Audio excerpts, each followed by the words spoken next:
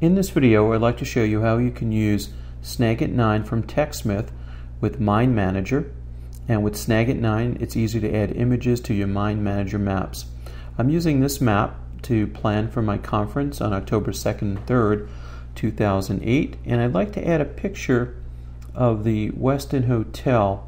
So I'm just going to go to my browser.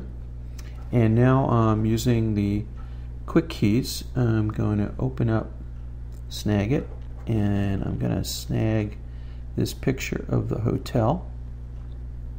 You'll notice on my Send tab I have a MindManager icon. This is a plugin that you can download from TechSmith if you have Snagit.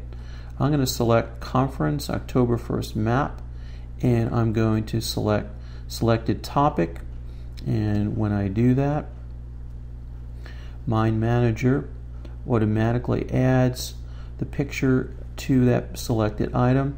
I'm going to make the picture just a little bit smaller, but that was just a, a quick tip on how to use Snagit 9 with MindManager to bring pictures uh, into your mind maps.